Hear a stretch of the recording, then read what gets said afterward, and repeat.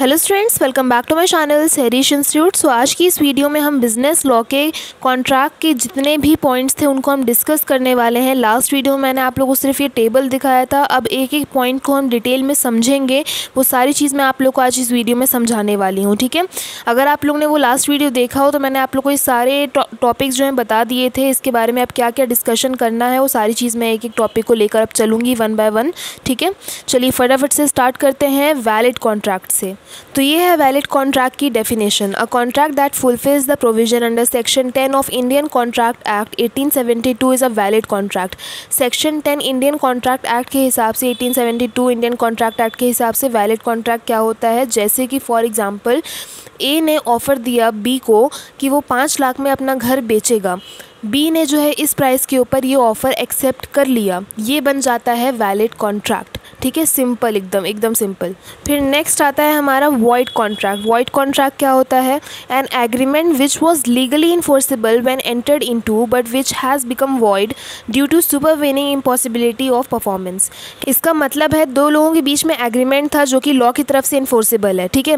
Agreement है law की तरफ़ से इन्फोर्सिबल है, दोनों के बीच में कॉन्ट्रैक्ट हुआ है, लेकिन सडनली कुछ ऐसी सिचुएशन आ जाती है, जिसकी वजह से वो कॉन्ट्रैक्ट अब आगे नहीं चल सकता। कुछ ऐसी सिचुएशन ऐसी बन जाती है कि वो अब इम्पॉसिबल सा हो गया है। तो वो बन जाता है हमारा वॉइड कॉन्ट्रैक्ट ठीक है? For example a contract between a citizen of China and India is a valid contract during peace but if war breaks out between the two countries the agreement will become void जैसे कि for example citizen है, एक China का citizen है, एक India का citizen है, ठीक है? एक चाइना का इंसान है और एक इंडिया का इंसान है, दोनों के बीच में कॉन्ट्रैक्ट होता है वैलिड कॉन्ट्रैक्ट जब तक शांति थी, लेकिन सडनली पता चलता है, दोनों बी, दोनों कंट्रीज़ के बीच में जो है, लड़ाई छिड़ चुकी है। तो उस केस में जो है, फिर वो कॉन्ट्रैक्ट आगे नहीं चल सकता। उसको जो है, हमें ख़त्म करना पड़ेगा वहीं पे। वो कॉन्ट्रैक्ट ऑटोमेटिकली वॉइड हो जाएगा, ठीक है? वो बन जाएगा वॉइड कॉन्ट्रैक्ट क्योंकि वो अब इम्पॉसिबल हो चुका है। उसको हम आगे लेकर नहीं चल सकते। नेक्स्ट आता है हमारा वॉइडेबल कॉन्ट्रैक्ट वॉइडेबल कॉन्ट्रैक्ट क्या होता है? According to section two sub section I an agreement which is enforceable by a law at the option of one or more of the parties but not at the option of the other is a voidable contract. Thus, the voidable contract is valid and enforceable until it is repudiated by the party entitled to avoid it. कहने का मतलब है कि कोई भी ऐसा contract जिसमें कोई इंसान एक पार्टी जो है दूसरी पार्टी को फोर्स करती है तो वो कॉन्ट्रैक्ट जो है वॉइडेबल कॉन्ट्रैक्ट कहलाया जाता है अब अगर सामने वाली पार्टी जिसको दबाया जा रहा है प्रेशराइज किया जा रहा है वो अगर चुपचाप वो चीज़ कर जाती है सामने वाली पार्टी के हिसाब से तो वो फिर एक तरह से वैलिड कॉन्ट्रैक्ट ही रह जाता है लॉ की नज़र में ठीक है एग्ज़ाम्पल समझिए कि Ram threatens to kill Rohan if he does not agree to sell his property at very lower price to him.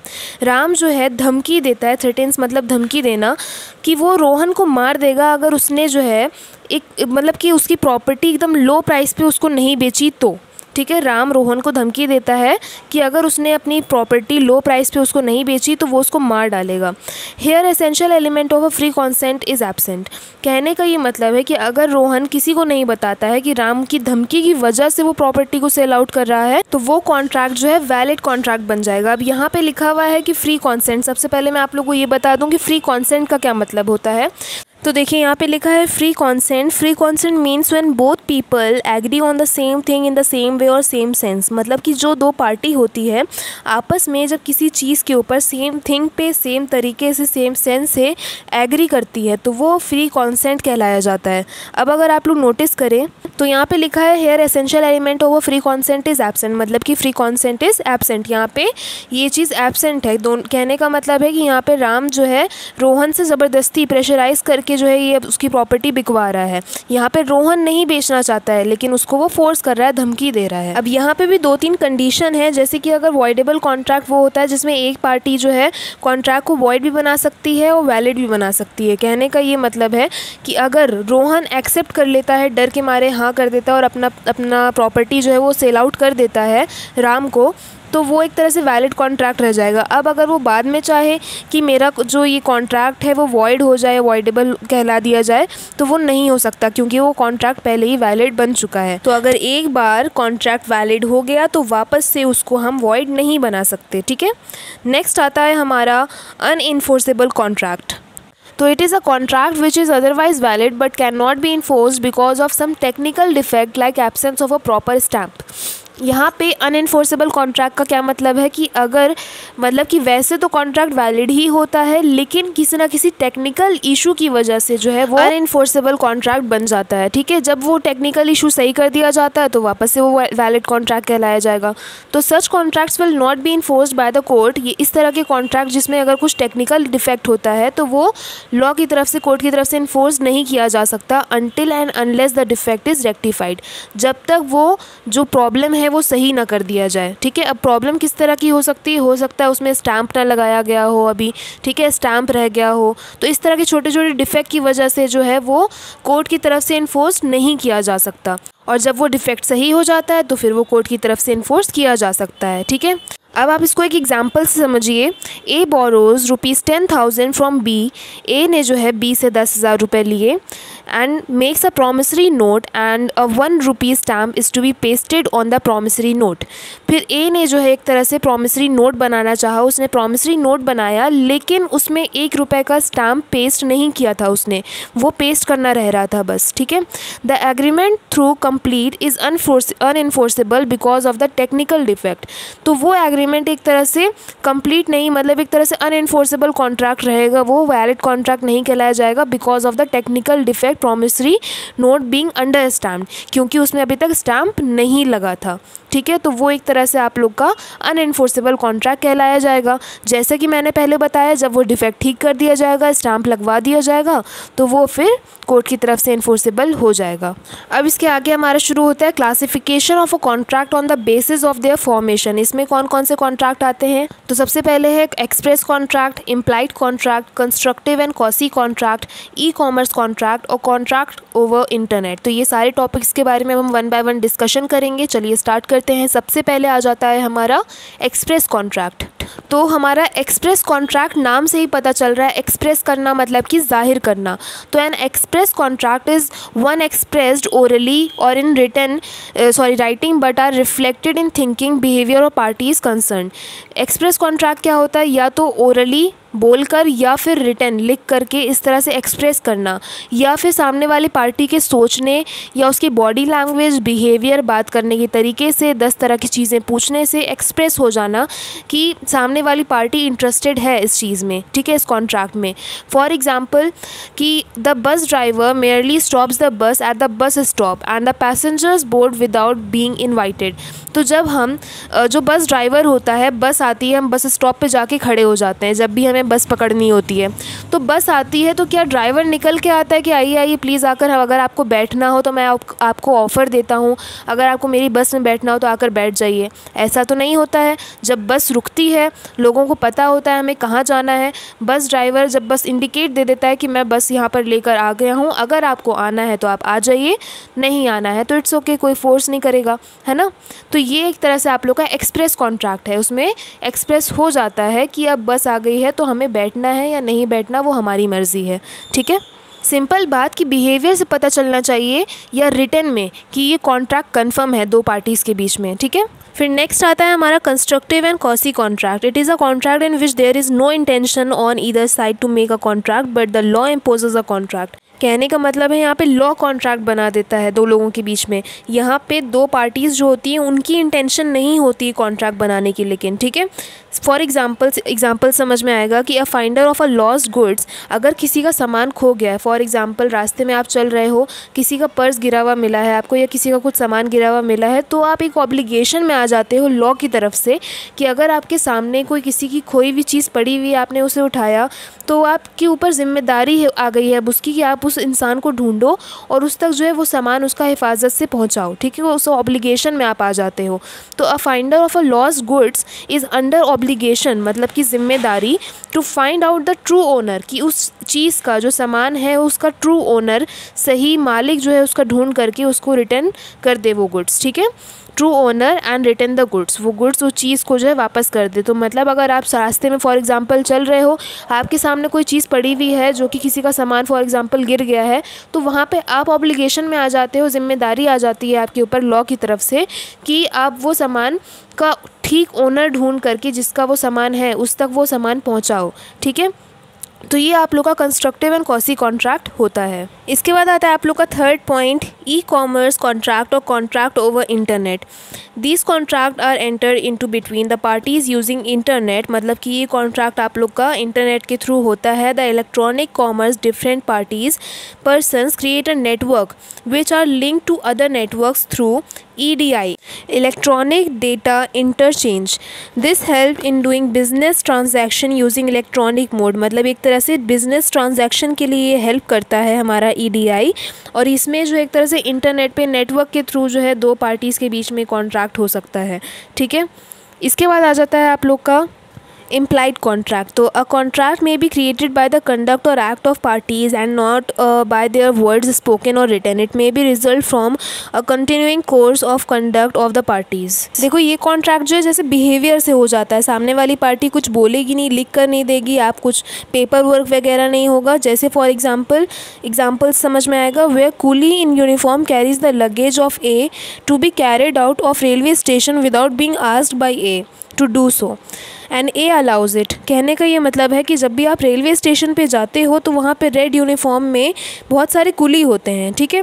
अब अगर आप हो, आपका सामान जो है फॉर एग्ज़ाम्पल ए ले लेते हैं। ए ने एक ए जो है रेलवे स्टेशन पे पहुँचा, उसका सामान जो एक कुली ने उठाया और वो चलने लगा। अब साथ साथ ए भी चल रहा था। कहने का मतलब है ए ने कुली को मना नहीं करा। मतलब कि ए भी कहीं ना कहीं चाहता था कि उसका सामान जो है लगेज उठा करके कुली बाहर तक ले चले। तो ए ने बिना कुछ बोले ही परमिशन दे दिया कुली को। दोनों के बीच में ये चीज़ एग्रीमेंट हो गई कॉन्ट्रैक्ट बन गया, ठीक है? लेकिन कुछ ऐसा नहीं कि पेपर वर्क वगैरह हुआ। The law implies that A has agreed to pay for the services ये ऑटोमेटिकली ये चीज़ निकल के आ गई मतलब कि लॉ की तरफ़ से कि ए जो है एग्री करता है कि इस सर्विस का वो पेमेंट करेगा कुली को, ठीक है? This is a case of an implied contract between A and coolie. तो ये केस जो है इम्प्लाइड कॉन्ट्रैक्ट का है, जो कि दोनों के बीच में हुआ। किन दोनों के बीच में? ए और कुली के बीच में।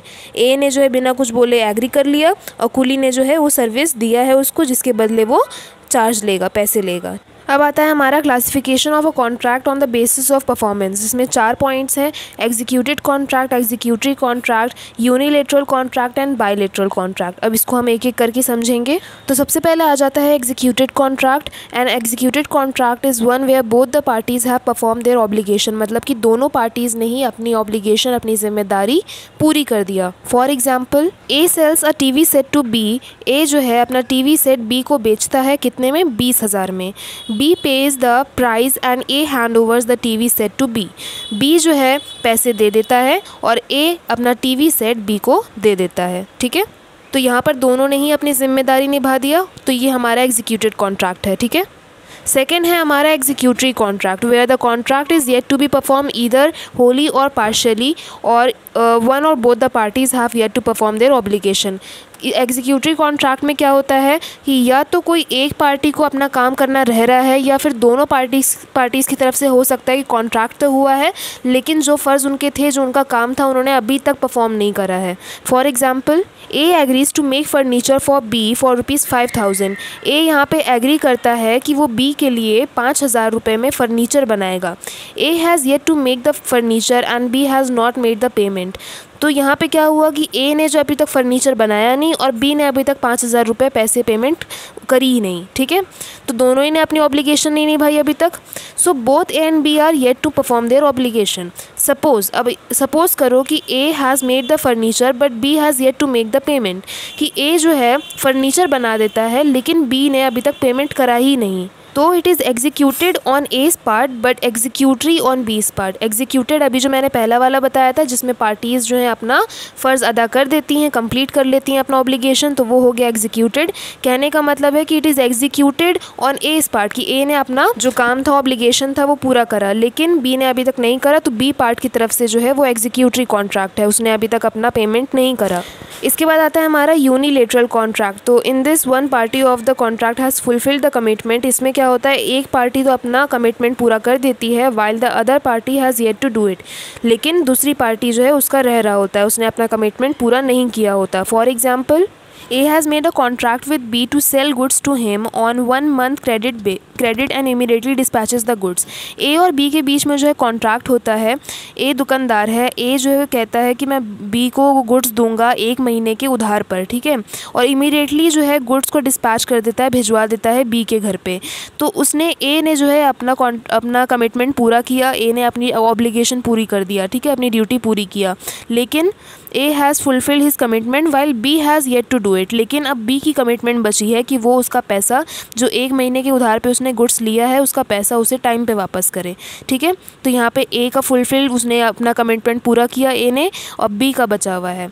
ठीक है? तो इस तरह के कॉन्ट्रैक्ट हमारे यूनिलेटरल कॉन्ट्रैक्ट कहलाए जाते हैं। अब आता है हमारा बायलेटरल कॉन्ट्रैक्ट और contract in which both the parties have fulfilled their commitment simultaneously जिसमें दोनों ही पार्टी जो है फटाफट से अपना कमिटमेंट पूरा कर देती है। जैसे for example A delivered goods to B and B make the payment immediately A ने जो है डिलीवर करवाए गुड्स बी को और बी ने उसी टाइम पेमेंट कर दिया। तो ये हमारा बायलेटरल कॉन्ट्रैक्ट हो जाता है। तो यहाँ पे आप लोग के सारे कॉन्ट्रैक्ट कंप्लीट होते हैं। कहीं पे भी कोई भी डाउट हो तो आप लोग मुझे कमेंट सेक्शन में कमेंट करके पूछ सकते हैं। अगर समझ में ना आया हो तो फिर से एक बार रिपीट करके देखिए, इसे सबके नोट्स बना लीजिए आप लोग, ताकि आप लोग कन्फ्यूज़न ना हो। कुछ थोड़े से मैचिंग करते हुए वाले भी हैं तो आप लोग कन्फ्यूज़न ना हो, इसलिए अपने पास कहीं नोट्स भी बनाते चलिए, ताकि एग्ज़ाम टाइम पर आप उसको रिवाइज कर सकें, ठीक है? मिलते हैं नेक्स्ट वीडियो में एक न्यू टॉपिक के साथ। बाकी अगर आप लोग मेरे चैनल पर न्यू हैं तो फटाफट से इस चैनल के साथ जुड़ जाइए चैनल को सब्सक्राइब कर लीजिए। एंड इसी के बगल में बेल आइकन है, उसे ज़रूर से क्लिक कर लीजिएगा, ताकि जब मैं वीडियोज़ डालूँ तो आप तक जो है मेरी वीडियोज़ की नोटिफिकेशन पहुँच जाए। वीडियो पसंद आया तो प्लीज़ लाइक करिएगा वीडियो को और बच्चों के साथ शेयर करिएगा ताकि उनकी हेल्प हो सके। मिलते हैं नेक्स्ट वीडियो में, तब तक के लिए stay safe stay healthy and thanks for watching